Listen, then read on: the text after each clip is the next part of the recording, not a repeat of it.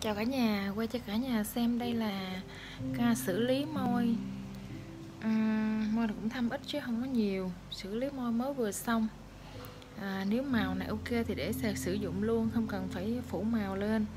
Nếu như mà không ok thì sau 2 tháng đến 3 tháng mình sẽ phủ màu lên Thì màu lên rất là chuẩn Đẹp. Và môi và đặc biệt là môi không có bị lão hóa Bởi vì à, à, mình đã xử lý à, kèm với tế bào gốc và collagen. Hiện tại mình mới à, cho collagen lên nó hơi bóng nè cả nhà ha. Đây là môi của nàng. Đây là môi trước khi làm nè cả nhà. À, môi trên thâm hơn môi dưới và đặc đặc biệt phần môi dưới á, cái phần ngay chỗ này nè. Góc này và góc này thâm nhiều nè ha. Chỉ có phần ruột môi trên đây là đỡ thâm thôi còn có phần viền dưới đây là thâm nhiều là do mình sử dụng ờ, nhiều cái son nó nhiễm chì thì nó sẽ bị như vậy. Sau khi vừa xử lý xong rồi cả nhà. Đó, mình tại mình quay sát bên đó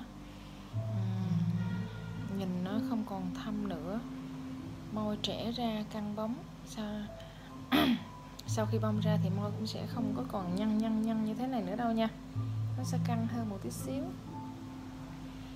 Trong lúc làm thì khách bảo là môi dưới, không có đau môi trên hơi đau một chút môi dưới đúng không người đẹp? Đó ha nhà ha. À, môi trên do mình thực hiện sao nên thuốc tê nó giảm dần nên sẽ đau hơn môi dưới. Môi dưới thì ờ, ê ê thôi nha. Đây cả nhà ha.